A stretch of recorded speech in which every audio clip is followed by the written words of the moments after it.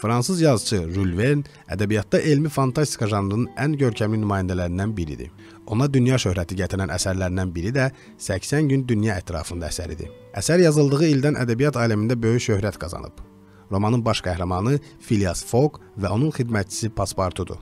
Qeyri-adi Londonlu ixtiraçı Phileas Foggu cəmiyyət dəli hesab edərək qəbul etmir. Fogg ciddi qəbul olunmaq üçün Kral Elmlər Akademiyasının rəhbəri Lord Kelvinlə mərcə girir. O, 80 günə dünyanı dövr etmək fikrinə düşür.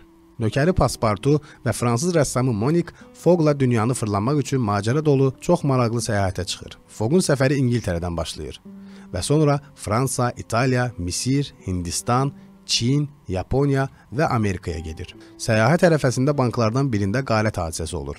Detektiv Fix isə təhqiqata başlayır və qaləti Foqun səyahətinə bağlayır. Polis İngiltərə bankından küllü miqdarda pulu oğurlayanın Foq olduğundan əmindir və mərc oyunu cəzadan qaçmaq üçün bir fürsətdir. Dünya səyahətinin çətinliklərinə bir də detektiv Fixin onları təqib etməsi əlavə olunur. Maraqlı səyahət zamanı qəhrəmanlarımız planetin ən egzotik güşəsinə düşürlər. Yol boyu onları çoxsaylı macəralar və çətinliklər gözləyir.